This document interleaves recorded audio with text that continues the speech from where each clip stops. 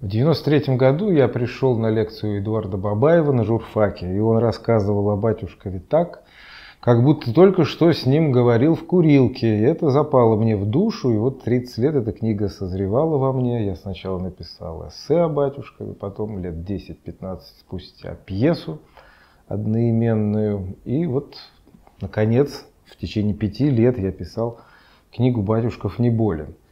Батюшков поэт между двух эпох, и мне, наверное, такая его позиция, скажем, была понятна и близка, потому что люди моего поколения тоже как бы немножко раздвоены и находятся одной ногой вроде бы в советской эпохе, а с другой стороны начиналась какая-то новая жизнь. Также и Батюшков, он весь вроде бы и в классицизме, но что не строчка, то это такие удочки в далекое будущее хотя уже не такое далекое, будущее романтизма. И вот как в его стихах сплавливается, казалось бы, та уходящая эпоха классицизма, нормативного такого направления и грядущего романтизма. И есть еще третий пласт в его стихах, это именно промежуточное нечто, что переплавляет и классицизм, и предвосхищает романтизм. Вот разбираться в этом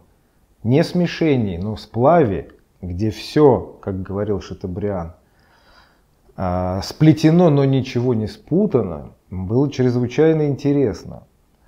К тому же мне э, чрезвычайно близко то, что поэты того времени были интеллектуалами. Прежде всего это выражалось в их переводческой деятельности – Каждый из них знал несколько языков помимо русского. Ну, французский как минимум, батюшка знал еще итальянский, что открывало ему путь в мировую культуру, потому что итальянский – это латинская поэзия и литература. Мне, как переводчику и как поэту, была интересна эта практика. Мне хотелось понять, как жили люди в то время – с одной стороны, они жили точно так же, как мы, точно такие же проблемы у них были, и жилищные, и коммунальные, и по службе.